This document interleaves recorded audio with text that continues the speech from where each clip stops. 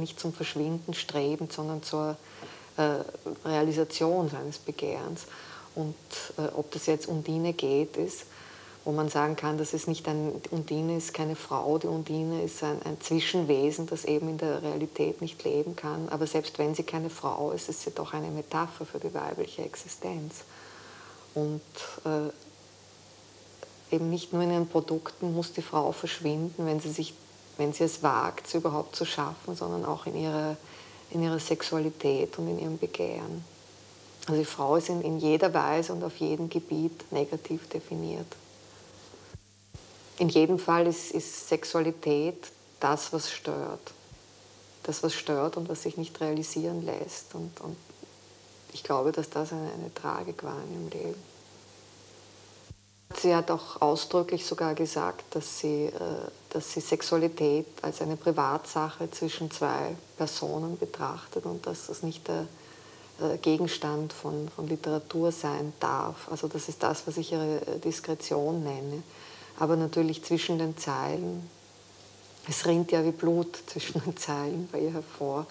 Äh, man kann ja nicht sagen, dass das keine, keine erotische Literatur ist. Dann fangen plötzlich zwei Leute miteinander zu spielen an, wie sie sich ausdrückt. Oder äh, das ist also eine, eine fast schon zwanghafte Verschlüsselung, die ja äh, die Wahrheit hinter dieser Verschlüsselung nur umso greifbarer macht für mich. Weil klar, wenn alles, was, was besonders äh, verborgen ist, wird natürlich umso unbarmherziger ins Tageslicht gezerrt, auch von der Rezeption. Wahrscheinlich wäre die Bachmann von dem, was ich schreibe, extrem angeekelt gewesen, weil sie ja sich immer dagegen ausgesprochen hat. Äh, ich stelle es äh, geheimnislos, in, in, seiner Geheimnislosigkeit dar, aber auch in seiner gleichzeitig äh, in dieser fast schon maschinistischen Weise, als, als eine Wiederholung des Immergleichen, als ist es im Grunde eine genauso große Absurdität, als wenn man darüber schweigen würde. Ich würde sagen, die Ergebnisse sind dieselben.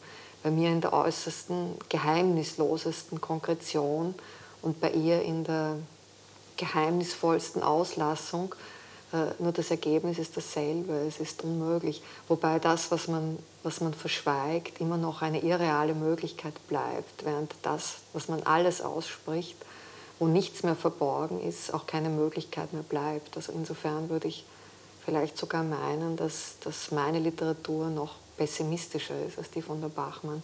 Nur sind inzwischen ja auch wieder 20 Jahre vergangen und äh, trotz Feminismus und Frauenbewegung kann man schon die, die pessimistische Prognose deutlicher sehen, die Bachmann vielleicht noch äh, daran geglaubt hat, dass, dass etwas möglich ist. Man kann eben auch den, diesen Maliner Schluss, der für mich einer der negativsten überhaupt ist, kann man auch letztlich eben positiv interpretieren.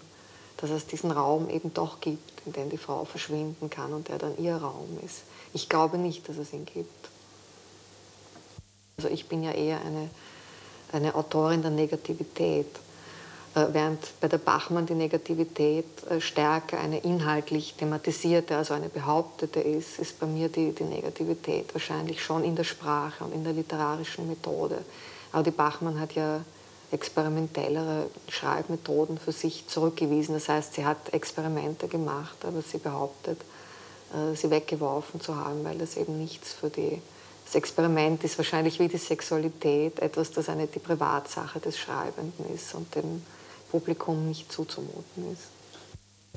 Da ist dann, da ist dann eben die Schwierigkeit, weil es, es, es schlägt also der, der, weiblichen Produktion schon eine, eine, äh, eine latente Verachtung entgegen.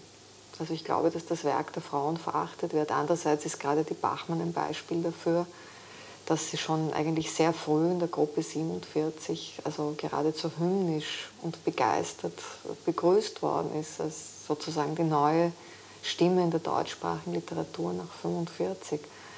Äh, nur meine ich, dass, dass diese Art von, von Lobesmaschine, die da über sie hinweggerollt ist, äh, letztlich auch in einer ständigen Verneinung dessen bestanden hat, dass sie eben wirklich dauernd herausgeschrien ist und dass, diese, und dass es eben geschrien hat und dass es diese eben nicht, dieses Nicht-Existieren der Frau und diese, diese Ortlosigkeit der Frauen nicht Man hat also sehr gutiert ihre, ihre Gedichte, wo sie sich in ein, in ein äh, sehr verschlüsseltes lyrisches Ich hineingeflüchtet hat, aber man hat sofort zugeschlagen, wie sie ihre Prosa geschrieben hat.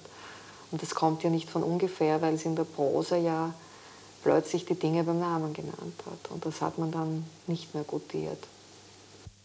Die, die beschreibt das ja ganz genau, die reale männliche Gewalt, die eben diejenige ist, die zum Faschismus führt. Also wenn sie sagt, dass wo denn diese, diese brüllende Gewalt der Nazis hingegangen ist. Die kann ja nicht plötzlich 45 verschwunden sein und dann die Antwort gibt, die ist in die Familien gegangen und sie kommt aus der Familie, aus der kleinen Familie und sie geht wieder in die kleine Familie zurück. Dann hat sie sich natürlich auch mit dieser sehr konkreten Gewalt beschäftigt. Aber die, ich habe immer eben empfunden, dass die, die weit brutalere Gewalt, diese, diese Normen des Patriarchats sind, in die die Frauen eingebaut eingepasst werden, was natürlich dazu führt, dass es, dass die Beurteilung, dass es keine Beurteilung für das weibliche Werk, Werk gibt. Es gibt also keine Kriterien. Ziemlich am Anfang und habe sie einmal gesehen in meinem Leben bei einem Empfang beim, beim damaligen Bundeskanzler Klaus habe ich sie einmal gesehen. Da war sie so eine sehr auffallende, singuläre Erscheinung als Page gekleidet, also eigentlich so ein äh, ein Page ist ja ein, ein, ein Dienender, hatte aber gleichzeitig auch eine, eine sehr anmaßende Ausstrahlung gehabt in so schwarzen Sandkniehosen und weißen Kniestrümpfen und einer weißen Bluse, so mit spitzen Jabot, eigentlich wie ein Cherubim aus einer Mozart-Oper. Äh, das, äh, ich habe kein Wort mit ihr geredet, weil ich hätte mich auch gar nicht getraut, sie anzusprechen und sie ist auch da ganz alleine gestanden. Ich selbst übrigens bin nicht unbedingt ein Anhängerin ihrer Lyrik. Ich, ich stelle also schon die Celansche Lyrik über die Bachmannsche Lyrik. Äh, ich bin aber eine äh, große Anhängerin ihrer Prosa, die ja also sehr viel ungünstiger beurteilt wurde, zumindest zu ihren Lebzeiten, bevor die feministische Rezeption sich dann drauf gestürzt hat.